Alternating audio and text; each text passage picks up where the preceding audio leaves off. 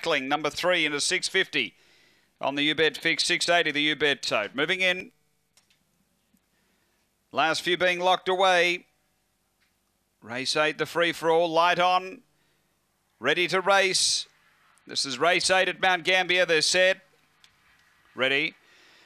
And away, uh, speed off the inside. Old Jock's out quickly, going with it. Hey, Miss Early. Old Jock really driving hard. Berry Bling moved up and got a check. And Old Jock sailed through and grabbed the lead and skipped away. Out by four to Markling the second. Next is Thanks Captain. Three away cries Jack Abbey's hand. And then came Hey, Miss Berry Bling.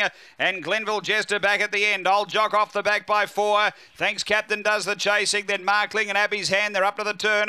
Old Jock straight in the leader. Clear of Thanks Captain who's running wide. And Old Jock all the way. Old Jock first, thanks Captain second, uh, uh, Markling third, fourth home Abby's hand. Uh, behind those next we had Berry Bling, uh, Criers Jack, Hay Miss and Glenville Jester. The run here will uh, stand by after the running of race eight. And too good here, old Jock.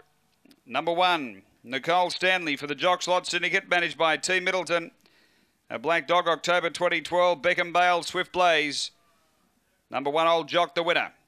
Uh, second will go to Thanks Captain. 30 and 13 the run. 30 13.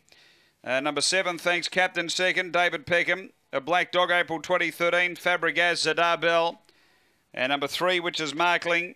David Broadhurst. A Black Dog, April 2014. Lochinvar Marlow Klinger. It's 1 7 3 uh, 4 is fourth after race eight here at Mount Gambier.